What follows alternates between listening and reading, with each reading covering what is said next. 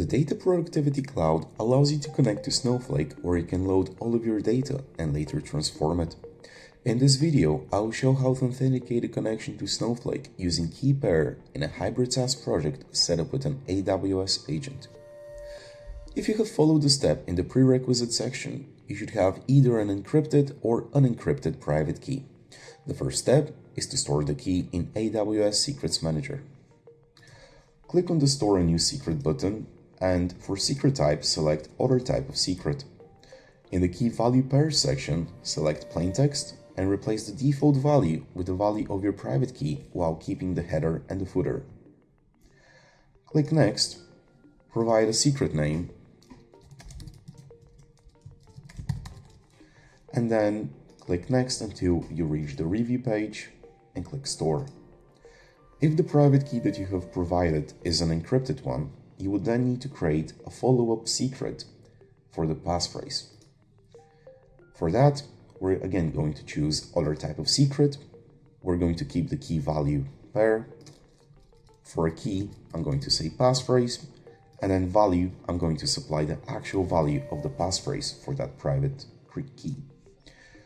Secret name, I'm going to name it passphrase demo, and then click next until you reach the review page, and then store. Navigate back to the Data Productivity Cloud. In our project, I'm going to create a new environment that's going to use the key pair authentication. I'm going to call it key pair environment. We're going to then choose an AWS agent and provide admin default environment access. In the select authentication method page, we're going to provide the account for Snowflake.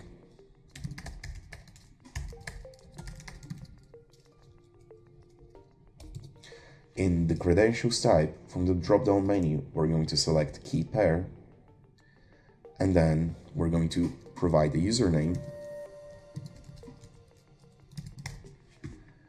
And the private key secret that we have just created. Since this is an encrypted private key, we also need to provide the passphrase and select the key of that secret and then you can continue. We're then taken to the Select Snowflake Defaults page. We're going to supply the appropriate role, the warehouse, the database, and the default schema. If everything checks out, we're then going to be able to create a new environment. To make sure you're using the new environment that we have just now created, navigate to the Branches tab to the right of your branch name click on the three dots and edit branch details. From the drop-down menu of the default environment field, we're going to select Key Pair environment, which is the environment that we have just created, and click on update. And that's how you authenticate a connection to Snowflake using KeyPair in a hybrid SaaS project set up with an AWS agent. For more information on using KeyPair authentication to connect to Snowflake, please visit the Matillion Data Productivity Cloud documentation website.